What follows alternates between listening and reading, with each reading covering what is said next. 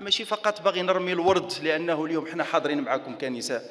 ولكن بصدق حينما نشتغل داخل اللجنة حينما نأتي إلى الجلسة العامة في هذا الجو ديال الاحترام ديال التقدير وديال الاعتراف بالآخر وأنا كنشوف ضيفات عزيزات جايات من أحزاب سياسية واحدة أخرى وحاضرين معنا لكي يتشاطروا معنا هذه الفكرة.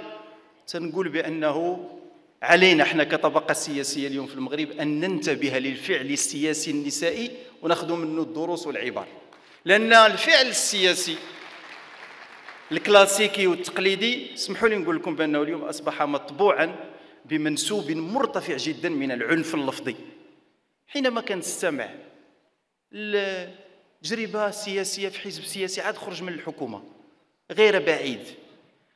يملأ الدنيا ضجيجا وتلويتا ومصطلحات لا يقبلها الفعل السياسي طبيعي والعادي والنبيل. واش الله سبحانه وتعالى ما قالش؟ وجادلهم بالتي هي أحسن وادعوا إلى سبيل ربك. هناك خلط هناك مشكل هناك خلل عميق في الإيديولوجيات التي ربما البعض كيظن بأنه يدافع عنها. حينما ندافع عن إيديولوجية معينة تندفع عليها قولا وفعلا وتطبيقا وممارسة. ولكن ماشي فقط ندافع عليها بناء على التموقعات. اللي فين أنا؟ واش أنا في موقع ممارسة السلطة أو لا في موقع آخر؟ اليوم صناديق الاقتراع اعطت المخرجات ديالها والنتائج ديالها. الطبيعي جدا هو مناقشه السياسات العمومية تقييمها انتقادها تقديم البدائل والحلول. ماشي من قبيل أنا حلمت بالدعم الاجتماعي. حتى واحد ما حلم بالدعم الاجتماعي. الدعم الاجتماعي جابوا جلالة الملك ونفذته هذه الحكومة وانتهى الكلام. فبالتالي أنا لا أعتقد بأن هذا الطريق اليوم غادي يوصل إلى منصب المسؤولية من جديد. كيف ما تنقولوا قديمة هذه خاص الابتكار.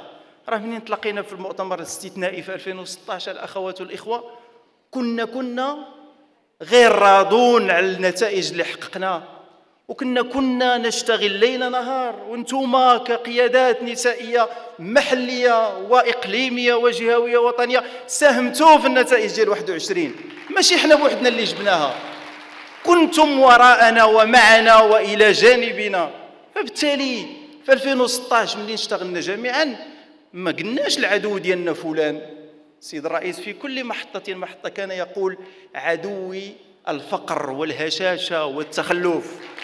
واشتغلنا لمدة خمس سنوات بناء على إيش؟ على اولا بناء المؤسسة الحزبية. درنا إعادة النظر في القراءة في الوثائق ديالنا.